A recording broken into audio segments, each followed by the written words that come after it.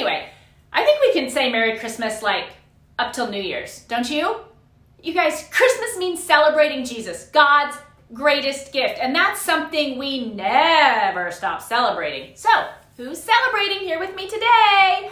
Hi, Clara. Hi, Amelia. Hi, Declan. Hi, Samantha. Hi, Alice. Hi, Bridger. I am so glad to see all you guys here at Kids Church with me today.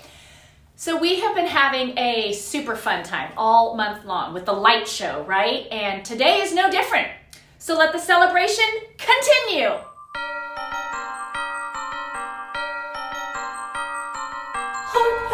Sweet silver bells, all to say,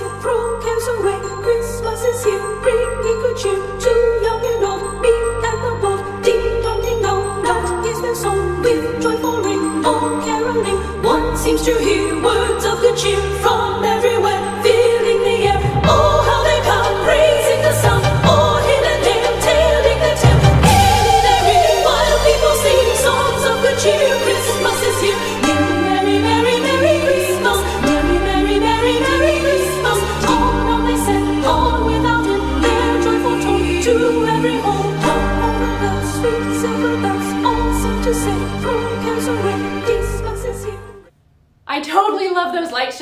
you? They look hard to do. Anyway, okay, I want you guys to listen to these words from Psalm 98, verse 4. Shout for joy to the Lord.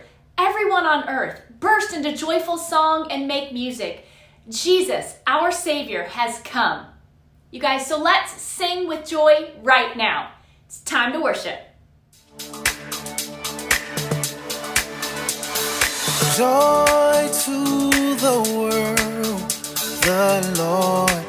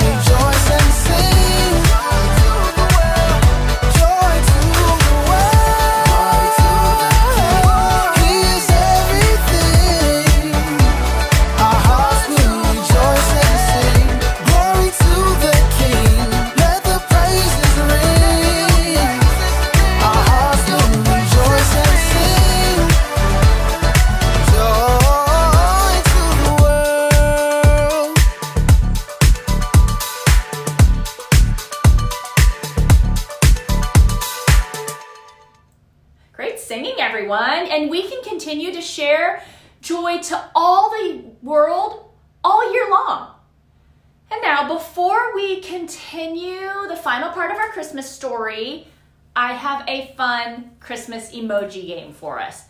I'm going to show you some emoji that represent um, popular Christmas songs, famous Christmas songs. You just have to guess which song we're seeing in the emojis. For example, if I show you three snowflakes, you would guess, let it snow. Right, okay. Want to try a few more? What Christmas song is this? Yep, Rudolph the Red-Nosed Reindeer. Okay, how about this one? Yeah, one of my favorites, Silent Night. How about this song? Yeah, super fun. Rocking around the Christmas tree. Okay, have one more? All right. What Christmas song is this? Yeah, you guessed it. Joy to the world, right? We just sang it. That was awesome, you guys. Super fun. Um, so we are going to wrap up our Christmas story uh, today, this week, and um, who haven't we heard about yet? We got shepherds. Oh, yeah, those guys. It's Bible story time.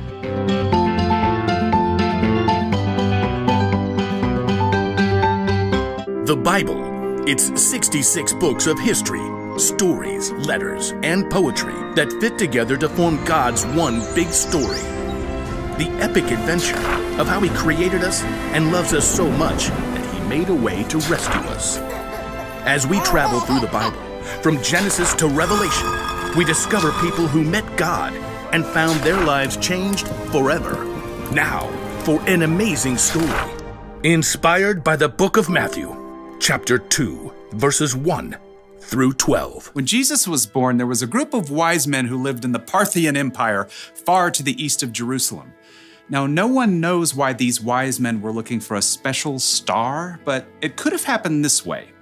Hundreds of years before, God's people had been defeated and taken as exiles to Babylon. One of them was Daniel, and through God's help, he gained the favor of the king. You will rule over Babylon and take charge of all the other wise men. Now, Daniel held this important role for much of his life, even after Babylon became part of Persia. During this time, he shared his love for God and his knowledge of Jewish scriptures with the other wise men. The Lord is the one true God. He has told me many things that will happen. Over hundreds of years, some of the wise men in Persia continued to study Jewish scriptures, even under different rulers. Many of them may have even remembered Daniel. So when several wise men discovered a brand new star, they knew it meant something important. Look, there in the west. It's a new star rising. Now, we don't know the names of these men or really exactly how many there were, but we'll call them Melchior, Casper, and Balthazar. A new king, maybe? Oh. Ooh, ooh, can we have a party? The wise men hurried to the archive room, where they dug through dusty scrolls to find the writings of Jewish prophets. Ah, here are the words of Daniel. God had given Daniel some strange visions of a savior who would come and rescue the Jewish people. The time he tells of could be right now, depending on how you read it. So, party time? And look here in the scroll of numbers. A star will come from among the people of Jacob, a king will rise up out of Israel. The star, the timing. I think this is it. Party time! These wise men did far more than just throw a party. They planned an epic road trip to honor the new king in his own land. I'll pack up the food. I got the heart for some road tunes. Who's got the camels? Well, you can handle them. I got the party gifts. The wise men packed up beautiful gifts worthy of a true king. Then they set out on their long journey across the desert. Due west. Follow that star. Oh, I would walk 500 miles and I would walk 500 more. Yeah, I think I'm ahead of my time. After many long weeks, the wise men neared the city of Jerusalem. Surely someone will know of this new king. The wise men entered the city, causing a stir with their fine robes and curious questions. Where is the child who's been born to be king of the Jews? We saw his star when it rose, and now we have come to worship him. And we got party gifts. In the palace, King Herod heard news of the foreigners, and he didn't like the sound of a new king. Outrageous. King Herod called on the chief priests and the teachers of the law. Where is this Messiah supposed to be born? Uh, please note my air quotes. In Bethlehem, Humph. Humph. How do you know? they are Prophet Micah, Your Majesty. He says, um, uh, But you, Bethlehem, in the land of Judah, are certainly not the least important among the towns of Judah. Uh, A ruler will come out of you. Uh, He will rule my people Israel uh, like a shepherd. Oh, well, I see. Yeah, but, Have these wise men come see me. Keep it on a down low. Soon, the wise men were ushered into the palace. When did this special star appear? At the perfect time for a party.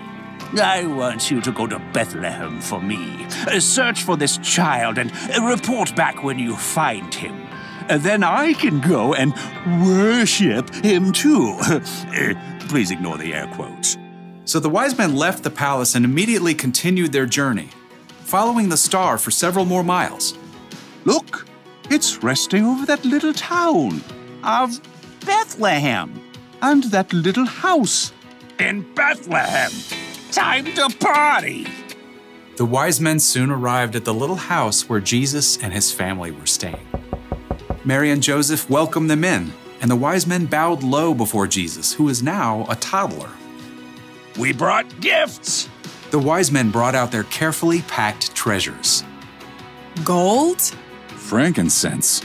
And this is myrrh. These are gifts for a king. Precisely.